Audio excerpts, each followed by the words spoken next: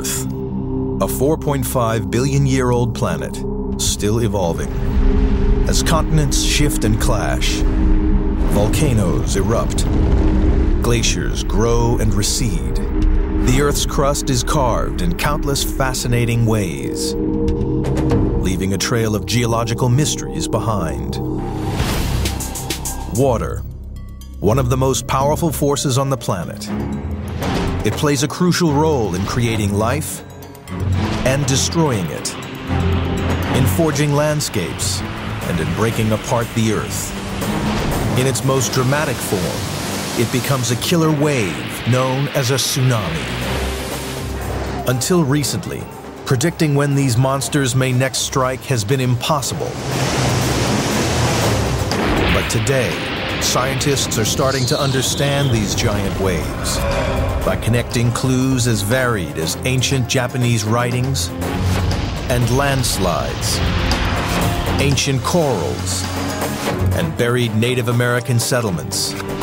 The secrets of tsunamis are finally being unlocked.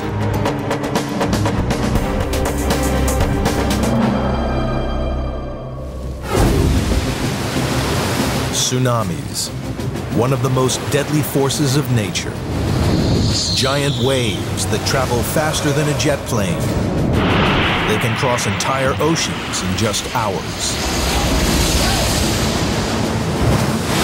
They have the power to smash buildings, vehicles, anything in their way. By itself, you wouldn't think that water just streaming into the coast would necessarily cause so much damage. But in fact, they are very fast moving and they pick up everything in its path. So it's not the water by itself, it's what comes with the water that is also a part of the big hazard. A tsunami isn't over in just a few seconds. It is a torrent of raging water that keeps coming. The main thing about a tsunami is the persistence. It comes on and on and on, and just when you think it has to quit, it keeps coming. And it's the power plus the, the duration that is unstoppable, really. Tsunamis have ravaged the Earth for billions of years.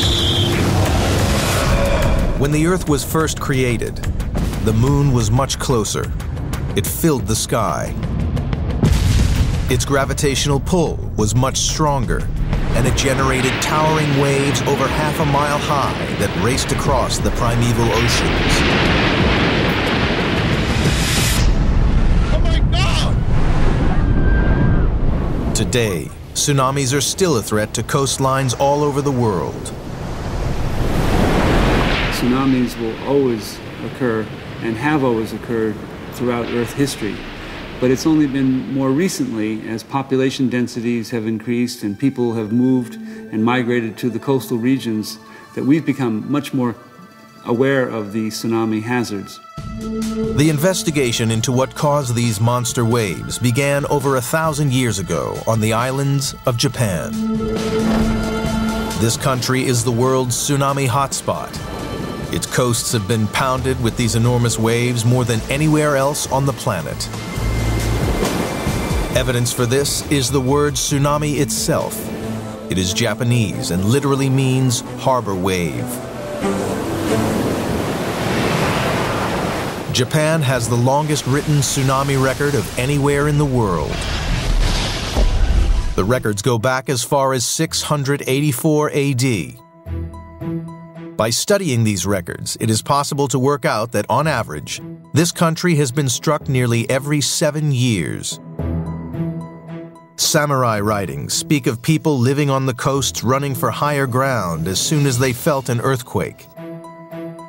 The Japanese knew this was a clue, a warning sign that a deadly tsunami would soon follow. But despite their attempts to escape, tsunamis have continually brought death and destruction to these islands. In 1896, a wave that hit Honshu in the northeast claimed the lives of 27,000 people.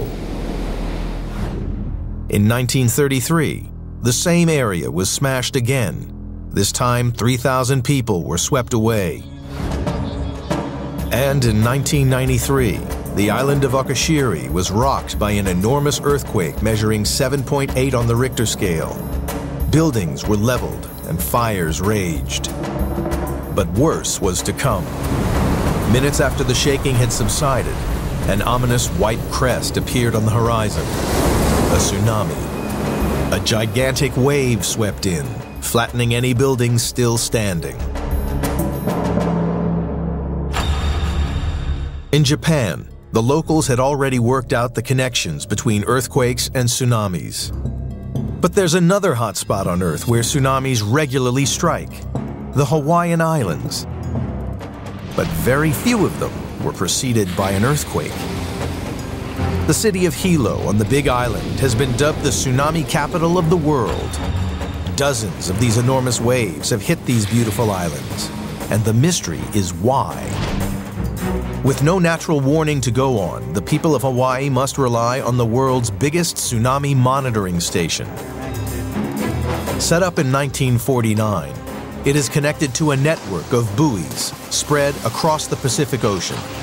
These buoys provide important clues. They monitor changes in sea level that indicate the approach of any potential tsunamis. In 1960, scientists got the breakthrough they were looking for. They were finally able to work out the type of event at the root of Hawaii's mystery tsunamis an enormous quake on the coast of Chile, the biggest recorded of all time with a factor 9.5 on the Richter scale, triggered a tsunami that swept across the entire Pacific Ocean in just a few hours. The islands of Hawaii were thousands of miles away, directly in its path. The Tsunami Warning Center was monitoring its progress, revealing for the first time that a single massive wave crossed thousands of miles of ocean. The warning center was a success. They were able to evacuate the communities closest to the shore before the wave struck. But the homes they left behind were decimated. In Hilo, the tsunami was so strong it even bent parking meters in half. The wave continued past Hawaii to Japan, it had lost none of its power. Pacific-wide, this tsunami cost more than 2,000 lives and caused millions of dollars worth of damage. Devastating as it was, the 1960 event was a turning point in the study of tsunamis. It was the first time that scientists could accurately measure how the size of an underwater earthquake directly affected the size of a tsunami conclusive proof that a tsunami can travel thousands of miles across the Earth. And it was with this Chilean earthquake that we really could prove that the uh, undersea motions associated with the earthquake are generating these huge effects. Now, scientists had the evidence to confirm that undersea earthquakes were directly responsible for tsunamis. The ancient Japanese suspicion was now scientific fact. In terms of modern tsunami study, the 1960 wave was year zero. The Chilean earthquake was, you might say, the perfect storm. It's when scientific understanding had advanced to the point where scientists had begun to see the link connecting everything. So it's a new science. We're talking about something which is really only less than 50 years old. There are more tsunamis in the Pacific Ocean than any other. So in 2004, the world was taken by surprise when one of the largest recorded tsunamis of all time took place in the Indian Ocean. On December 26, 2004, Indonesia was rocked by the second largest recorded earthquake ever, 9.2 on the Richter scale. Minutes later, a 90-foot tsunami slammed into the Southeast Asian coastline. 225,000 men, women, and children lost their lives.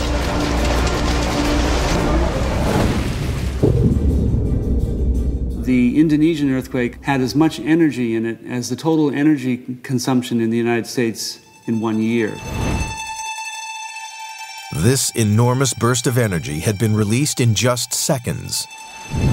Once again, the world had been reminded of the Earth's awesome power. In the last 50 years, scientists were finally able to confirm a solid link between earthquakes and tsunamis. By monitoring the size of the Chilean earthquake in 1960, scientists were able to prove conclusively that earthquakes triggered these gigantic waves.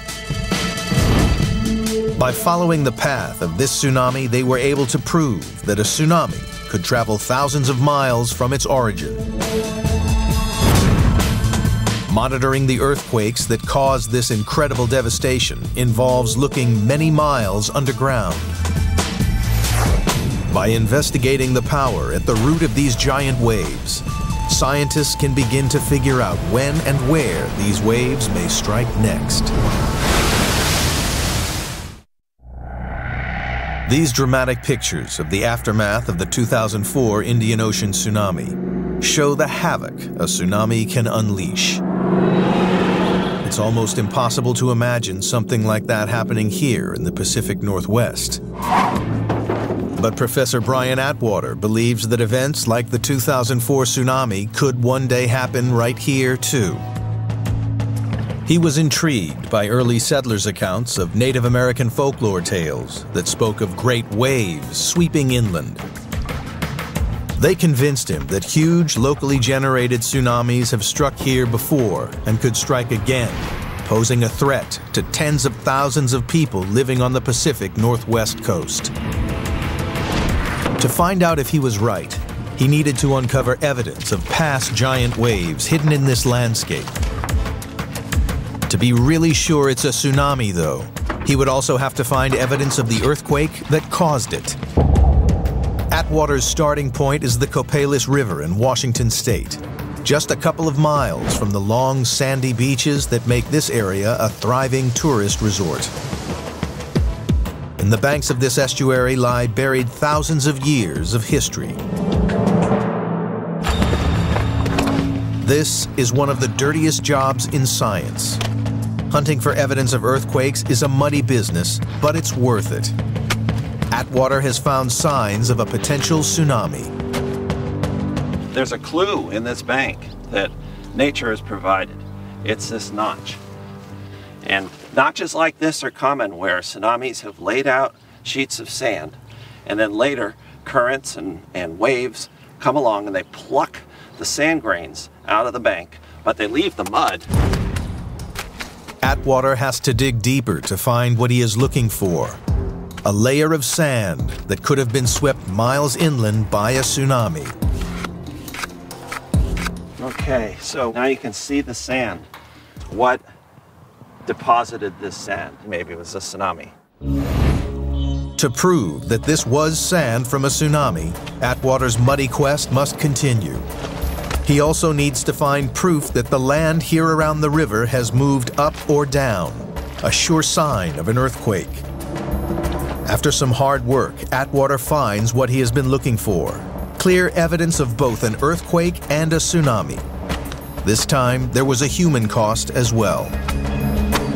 Here we have evidence for abrupt lowering of land, and we also have evidence for the associated tsunami. In this case, humans are involved. This was a fishing camp. Here you have the remains of that fishing camp in the form of fired cracked rocks, which were the rocks were used to heat water mainly. Okay, so fishing camp overrun by tsunami. Because the land dropped after the tsunami, the tides came in and covered the fishing campsite and made sure that people wouldn't use it again. The land the fishing camp was built on was dragged down during the earthquake. The tsunami deposited sand over the remains, and finally the tide covered the settlement with mud, where it remained undisturbed until now. Atwater finally had the proof he needed. His Native American myths of giant waves were no mere legend. But what was it that caused the earthquake? The prime suspect lay 50 miles offshore, the Cascadia Fault.